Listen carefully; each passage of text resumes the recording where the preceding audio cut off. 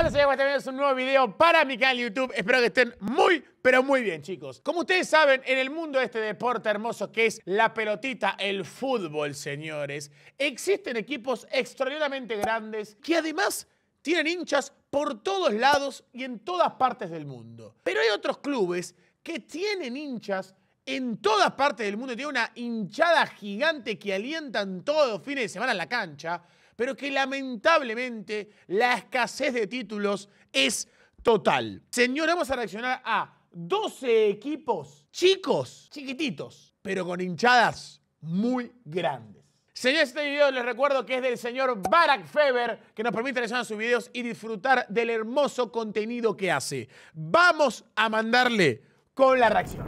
Es un equipo histórico de la El Zaragoza. primera división española. Digo, en los últimos 60 años había descendido cuatro veces y en las cuatro vuelto de inmediato a segunda división al Es año verdad. siguiente.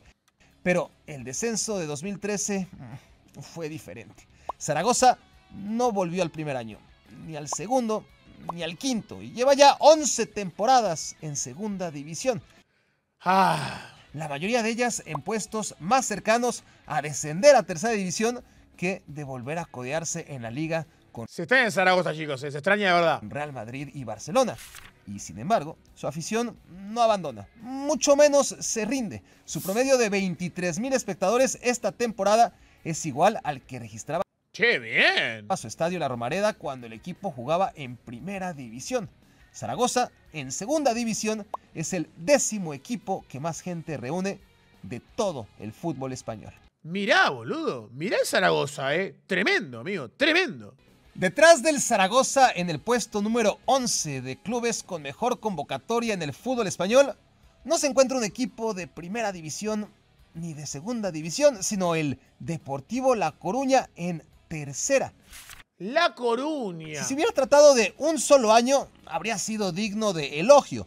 Pero un año en tercera lo aguanta cualquiera. El Málaga, por ejemplo, descendió este año y su afición se ha volcado para volver de inmediato a segunda. Pero a ver cuánto dura el ánimo si no lo logran. Mm. La afición del Depor, mientras tanto, aquella que durante 12 años entre 1993 y 2005 vio a su equipo quedar casi siempre entre los tres primeros de primera división, Claro, jugó Champions y ganaba títulos el Depor. O yo estoy equivocado. ha sabido sostener al equipo cuatro temporadas ya en la más absoluta de las desgracias, con un promedio de 23 mil incondicionales por partido en el Estadio Riazor. Mirá vos, qué bien igual, eh. Porque para mí, chicos, voy a decir algo, eh. Todos somos hinchas del club cuando anda bien. Todos hinchas del club cuando siempre gana y siempre gana y está en todas las finales. Ahí te ganas a la cancha, te dan ganas de ver el partido. El tema es cuando tu equipo va mal. Como siempre dicen, amigo, hay que estar en las buenas, pero en las malas mucho más. La tercera división alemana cuenta con varios equipos cuyas aficiones son espectaculares. Múnich 1860 siempre ¿Este, chicos, no es el clásico del Bayern? ¿O estoy humeando? Déjame en los comentarios, estoy humeando, ¿eh? llena su estadio con capacidad para 15.000 espectadores. El Rot-Weiss Essen mete un promedio de 16.000 fanáticos por encuentro. Bien. El Arminia Bielefeld, que hace apenas dos años todavía estaba en la Bundesliga, mantiene a 17.000 fieles por partido. Y el Dinamo Dresden, el Dinamo Dresden, convoca Dinamo Dresden. a 28.000 testigos que se reúnen 28.000 personas lleva el Dinamo Dresden. para ver a su equipo penar un año más en tercera división. La última vez que el que fuera ocho veces campeón de Alemania del Este jugó en la Bundesliga data de 1995. Son 30 temporadas lejos del Bayern, del Dortmund y del resto de la élite. 17 de ellas en tercera división y dos en cuarta. Uy, Dios, dos en cuarta, durísimo. pero su afición es digna de Champions League. Un ejemplo de su inigualable grandeza aconteció en 2020 cuando el club sacó a la venta 30.000 boletos para ver si podía llenar virtualmente su estadio en un partido en plena pandemia contra el Darmstadt que se jugaba a puerta cerrada. Acabaron vendiendo más de 70.000. Las entradas, por supuesto, eran simbólicas. Se Claro. trataba de apoyar al equipo ante la crisis generada por el COVID. Qué bien, boludo. Qué hinchada, viejo. Qué hinchada. Un aplauso, por favor. En el fútbol brasileño coexisten 12 equipos gigantes. Así es, 12. Algunos consideran al Atlético Paranaense el decimotercero y méritos deportivos no le faltan. Pero, Y hace poco jugó al final de Libertadores, la perdió contra el Flamengo, la perdieron, si no me equivoco. pero si de afición hablamos, el Bahía está por encima de todos. Bueno, de todos no. Abajo del Flamengo y del Sao Paulo. Empate técnico con el Corinthians.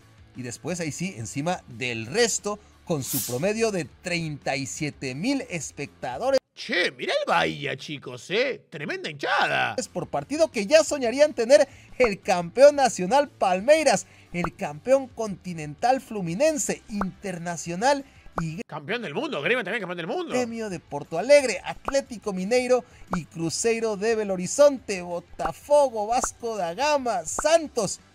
Santos 12.000, chicos Santos, ¿eh? Casi nadie está al nivel del modesto Bahía, que tiene otra particularidad respecto al resto. No lleva el nombre de su ciudad, Salvador, sino el del estado entero en el noreste brasileño. Cabe señalar que las entradas para ver al Bahía son las más baratas de todo Brasil y eso explica parte del fenómeno. Y es verdad, sí, claro. Lens es un insignificante pueblo al norte De Francia, ¿no? del país donde residen 32.618 franceses. Su equipo de fútbol, el Racing Lens, promedia 38.000 fanáticos en su siempre lleno Stade Bollard de l'Elysée. Bueno, en, en el, en el Lance no juega Facundo Medina, argentino, lateral izquierdo o central. Sí, lo dije bien. El pueblito tiene poco más de 30.000 habitantes y sin embargo su club de fútbol congrega a 38.000 peregrinos de Ah, llevan más gente al estadio de población en la ciudad. alrededores y lejanías para animar al equipo dorado y rojo en cada encuentro como local. La atmósfera en los partidos de Lance es inigualable por la presencia de los ultras en la zona preferente. Son el centro del universo en lugar de estar aislados en una de las cabeceras del estadio. Mirá esa hinchada, eh, cómo está, eh. Cómo está la banda. Ponga huevo, ponga huevo, Lens. Ponga huevo, huevo sin cesar. Yo no sé ustedes, pero yo en la Ligue 1 soy muy, muy de Lance.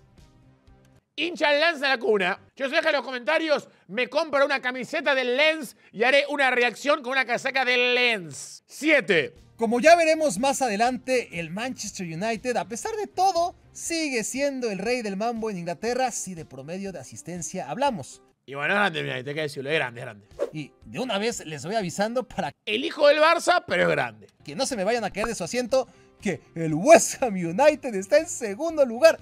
El tercero que más gente mete por partido es el Tottenham Hotspur, seguido por el Arsenal. Luego viene el Liverpool, Manchester City sexto lugar, Newcastle United séptimo, Aston Villa octavo y con promedio de 41 mil feligreses por partido, Sunderland noveno.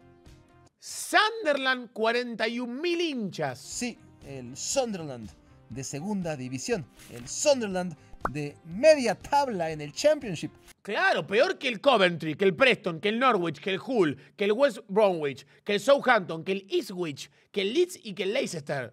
el que dejó la Premier League en el cada vez más lejano 2017, el que descendió a tercera al año siguiente y que ahí se quedó cuatro años atorado, el mismo que rompió el récord de asistencia Qué lindo estadio, amigo, eh. Qué hermoso estadio. histórico cuando cayó hasta la tercera división, el de esa sufrida y leal afición que protagoniza Sunderland Till I Die en Netflix. Un drama que, ¿qué les cuento? Ni la Rosa de Guadalupe. bueno, el Sunderland, así como lo ven, jala más gente que, por ejemplo, la Juventus, el Chelsea o el Porto. América y Chivas son los dos equipos grandes de México. Sin embargo, cuando juegan en casa, no son lo suficientemente populares como para estar al nivel de Rayados y Tigres, los clubes de la ciudad de Monterrey que registran temporada Siempre contigo, Tigres. a temporada el mejor promedio de asistencia de la Liga MX con alrededor de 40 mil aficionados por partido. Pero si hablamos del área, ningún club mexicano puede presumir de jugar sus partidos en casa ante la afición más numerosa. Es más, si hablamos de todo el continente, únicamente River Plate, Boca Juniors y Flamengo registran mejor promedio que el rey de CONCACAF. El Atlanta United con promedio Mirá, el Atlanta United de figuras como Tiago Almada, por ejemplo, en su momento Almirón. de 47 mil espectadores por partido. La cifra es aún más llamativa si consideramos la población de Atlanta, Georgia. No estamos hablando de Nueva York, Los Ángeles o Chicago, sino apenas de la ciudad número 37 del país. Mirá vos, de las más pequeñas. Con menos de medio millón de habitantes. O sea, uno de cada 12 ciudadanos de Atlanta acude a los partidos del Atlanta United. Para ponerlo en perspectiva, Come on it. uno de cada 150 houstonianos asiste a los partidos del Houston Dynamo y uno de cada 500 neoyorquinos a los del New York City Football Club y me parecen muchos, pero bueno. Cinco. Talleres de Córdoba Sí, enorme la T, eh. enorme la T. nunca jamás ha salido campeón del fútbol argentino. Pero el aguante que tienen, sobre todo las hinchadas cordobesas, también Belgrano, ¿eh? La hinchada cordobesa es muy fuerte, amigos, muy fuerte. También Instituto. Y es increíble porque equipos marginales Bueno, Banfield 2009, claro. de la talla de Banfield, Arsenal, Quilmes y hasta Chacarita Juniors salieron en algún momento campeones de Argentina, mientras Talleres, el equipo más popular de la RT y entre los que no juegan en Buenos Aires, nunca lo ha logrado. El hincha de Talleres es tan pero tan fiel solamente dos estadios superan los 51 mil espectadores que promedia el estadio Mario Alberto Kempes. Ningún equipo, olvídense de los otros tres grandes, de Newell's Old Boys, de todos los que no sean River Plate y Boca Juniors. Talleres increíblemente, injustificadamente e inexplicablemente es el tercer club más apoyado de toda Argentina. Chicos, ¿usted qué opina de Talleres, amigo? ¿Equipo infravalorado? Yo pienso que sí, ¿eh? Yo pienso que sí. El aguante de la gente es descomunal, ¿eh? Y el aguante de la gente vale mucho. En España hay tres equipos grandes que nadie se atreve a discutir. El debate empieza con quién vendría a ocupar el cuarto puesto El Valencia o Atlético Bilbao. histórico. Si de tradición se trata, el Athletic Club sin lugar a dudas. San Mamés. El aguante que tiene la gente de Bilbao, sobre todo en San Mamés, es tremendo, ¿eh? Es una caldera ese estadio. Una caldera. Si de poderío histórico hablamos, el Valencia ya entra en la discusión. Si tomamos en cuenta los éxitos en Europa League, ábranle paso al Sevilla. Pero si de afición se trata, inobjetablemente el Pensar que la Cobra jugó en ese estadio. Literalmente, estadio hermoso, chicos. Tuve la chance de salir hasta el medio de la cancha y jugar el partido y todo, pero el día anterior salí, giré mi cabeza a 360 y vi lo que era ese estadio. Qué pedazo de locura. cuarto club más grande de España es el Real Betis Balompié. Eso de apoyar a su club en las malas y en las peores es lo que define al beticismo. Mientras el eslogan del Real Madrid es un autoritario a la Madrid y nada más, al tiempo que el Barcelona busca trascendencia extrafutbolística con el más que un club, el nunca dejes de creer del Atlético de Madrid apela a la esperanza de ganar, aunque sea de vez en cuando, el viva el Betis aunque pierda, o viva el Betis aunque pierde en lenguaje autóctono, apela desde las entrañas a que el resultado es lo Claro, es secundario. de menos. Por eso, mientras el Betis dista mucho de ser deportivamente uno de los cuatro, cinco o seis grandes de España, sí que tiene a la cuarta afición más numerosa del país. Así lo reflejan sus partidos en casa con 52 mil almas por partido. Qué bien.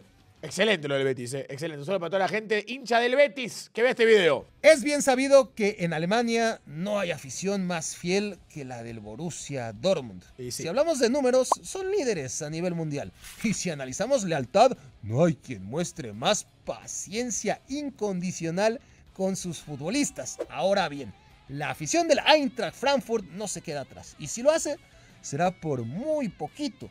Bueno, todos deben pensar, mira, ya pone la imagen, amigo, eh, pues, todos deben pensar en lo que fue el escándalo de los cuartos final de la Europa League, cuando el Barcelona fue prácticamente domado en relación a la cantidad de hinchas que había en ese día en el Camp Nou. Cuando se llenó el estadio de hinchas alemanes del Eintracht de Frankfurt, que además le compraron las entradas, los boletos a los españoles, que se los vendieron a los hinchas, y hoy veías el estadio y había prácticamente igual, eh, eh, equilibradamente hinchas del Barça con hinchas de, perdón, del Eintracht de Frankfurt. Había camisetas blancas, camisetas blaugranas. Los mismos que le dieron la vuelta al mundo por llenar el Camp Nou en su enfrentamiento de Europa League contra el Barcelona, hacen del Eintracht con 57 mil aficionados por partido el tercer equipo más apoyado en casa de la Bundesliga, solo a la saga del Bayern Múnich y el Dortmund. Pero igual la media de hinchas que entran a la cancha de Cine una Park del Dortmund es una locura.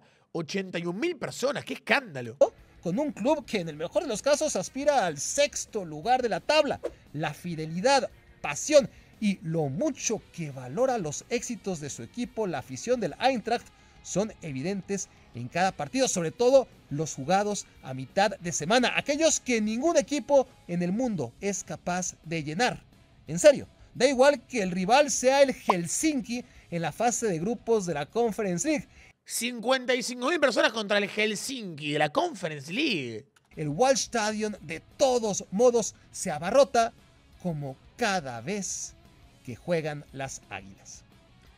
Puesto número 12, estamos en el podio ya.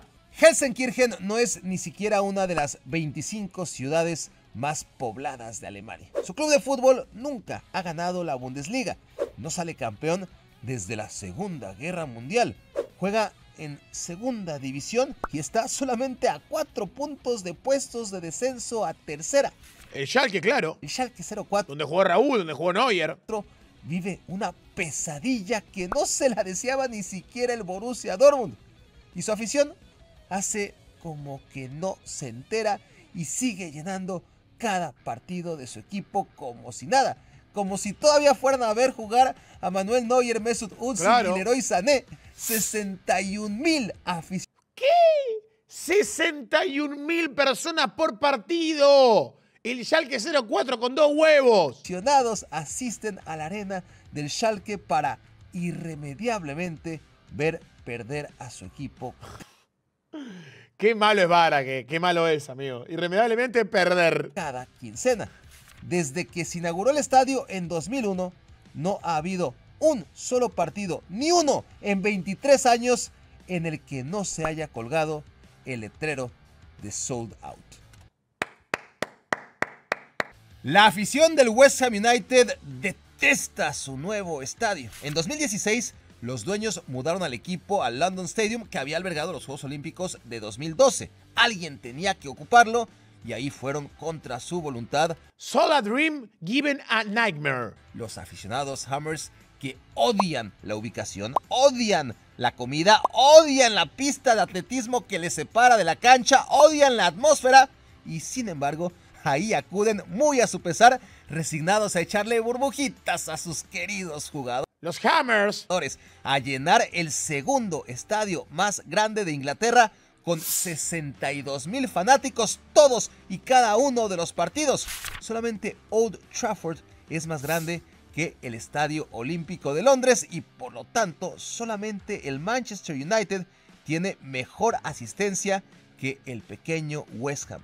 Es una locura igual chicos, eh. es un escándalo, es un escándalo. Uno de los pocos clubes que nunca ganó la liga inglesa y que claro, nunca ganó la Premier. ni siquiera quedó alguna vez segundo lugar.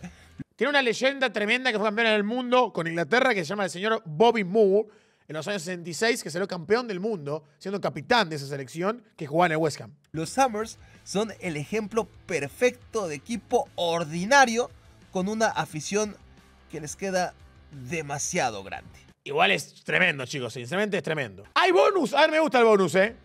El número de aficionados italianos, franceses y alemanes que viajan a las Copas del Mundo es muy, muy bajo.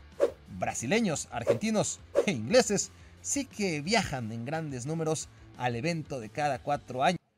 No me digas que Barack está pensando en México. Pero nadie lleva más gente. México estima que unos 60.000 aficionados mexicanos viajarán al Mundial de Qatar. Al Mundial que la selección mexicana. No importa lo lejos que sea la Ningún país llevó tantos aficionados a Rusia 2018 como México. Copa del Mundo. Da igual que México diste de ser una de las 10 potencias. Afición mexicana, mejor cliente de la FIFA en los mundiales. Que aspiran a ganar la Copa. Tampoco que la situación económica del país justifique el despilfarro en torno a una selección sin peso. Pero la realidad es que únicamente el anfitrión gasta más que los aficionados mexicanos en cada mundial. Lo bueno es que se trata de un viaje corto, dos semanas nada más. El tiempo que le lleve a México caer eliminado tras jugar tres o cuatro partidos. Chicos, pero ¿qué opinan, amigo? Para que me dejó dudas sobre el final, bro. ¿Qué opinan, chicos? ¿Por qué le pasa esto a México? ¿Por qué tiene tanta gente que ama el fútbol? Tanta gente que practica el deporte. Pero aún así no pueden sacar cracks, amigo. Me da pena por México. Tantos hinchas que ponen sus ahorros para ir a ver su selección al Mundial y que lamentablemente nunca pueden llegar al quinto partido. Pero bueno, chicos, así el fútbol y esto para mí vale mucho más. ¿eh? Esto vale mucho más. Cualquiera es brasileño y va a ver los mundiales, ¿eh? Cualquiera es argentino y va a ver su selección. Cualquiera es alemán y va a ver selección, ¿eh? Los mexicanos van, van y van. Y eso tiene un valor. Así que mexicanos los respeto y los valoro. Señores, hemos llegado al final de este video. Fueron los 13 equipos, en este caso un plus, dos equipos y una selección que a pesar de ser chicas, tienen un aguante enorme, enorme, enorme y que siempre llenan la cancha todos los fines de semana, en las buenas, en las malas, y cuando generalmente y siempre son malas, aún sigo yendo más y más a la cancha a ver a mi equipo. Señores, dejen su comentario qué opinan de esto, chicos, de este fenómeno de equipos chicos que tienen una afición muy grande, enorme, que están todos los fines de semana. Dejen su like, dejen su comentario, suscríbanse a mi canal y también dejen un sub en el canal de Barack Feber. Los quiero mucho y nos veo el día de mañana con un video esperemos más divertido y que les guste más que este, que espero que haya sido muy entretenido para ustedes. Los quiero mucho. Chao, chao.